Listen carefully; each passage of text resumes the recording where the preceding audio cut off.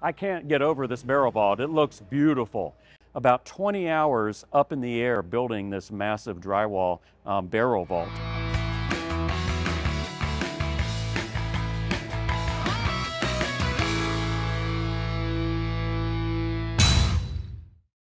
Hey, today I'm in Las Vegas at the local uh, United Brotherhood of Carpenters training facility. And I have John Flanders here, and uh, he's their lead instructor. As a matter of fact, I just pulled him out of a class with uh, how many apprentices you have?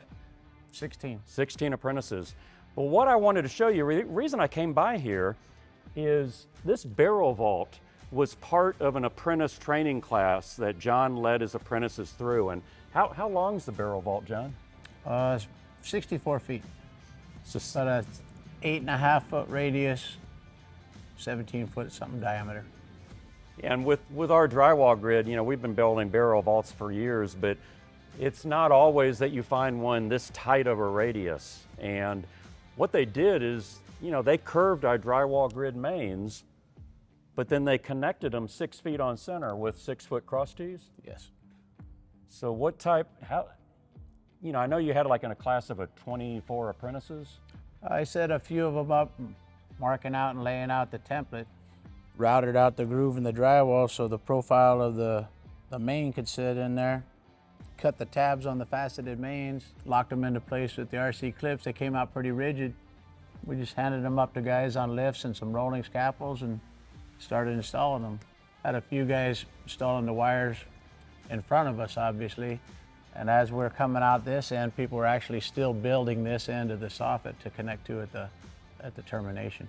So up on the lifts, you have Yeah. what, five, five, six people? Well, they had to do this basically off some rolling towers that we made. We only had access to the to the one lift, but Okay. it worked out. They stayed busy and they, they really liked doing something this interesting.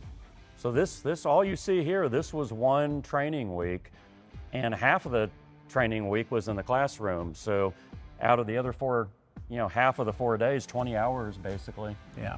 they put this up, and then they just had to come back and do a little bit of, uh, um, you know, leveling and uh, getting it, you know, braced off perfectly so it's nice and plumb. Once the parts were made in the template and we were locked into one wall, it went it went pretty quick. They were doing they're setting a main and putting the tees in once they got locked into that back wall about every 20 minutes. Now, what's the other reason that you built this? They're having an event, uh, a delegate meeting here. They have them quarterly for the Southwest Regional Council of Carpenters. Each one has its own uh, designated theme. And they wanted this to be a replica of a portion of the the, uh, The Fremont Street. the Fremont Street barrel with the LED lighting and displays and shows they can show on it. Then over here, if you can see, they built a replica of a portion of Hoover Dam and they're putting some free-form lath on it to simulate rocks. They're gonna cover up with some kind of covering to make it look like natural rocks. So they're gonna put different signage and banners in here and try to replicate the, the city of Las Vegas with the theme that, you know, if you want it built and it can be built, this is the area you can do it in.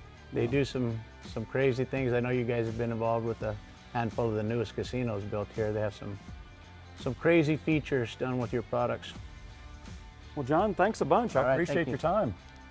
Thank you for coming with me on this episode of Build It Better here in Las Vegas. I can't get over this barrel vault. It looks beautiful.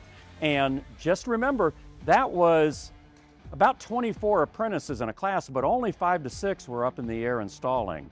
Um, and it took them, you know, it was four days, but it was only uh, half of that was classroom time. So really about 20 hours up in the air building this massive drywall um, barrel vault here.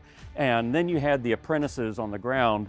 Over here they had the jig set up where they uh, were bending the radiuses and screwing the RC2 clips in to form those radiuses. Very efficient construction uh, for today's 21st century uh, barrel vaults and curves and soffits and things like that. So if you'd like to learn more, visit armstrongceilings.com forward slash drywall grid.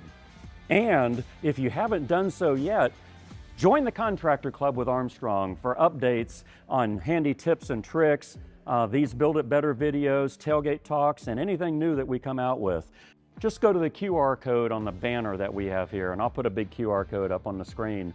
uh, and you can scan that. It'll take you right to the sign-ups. If you want to go to our Armstrong website, it's armstrongceilings.com forward slash contractors.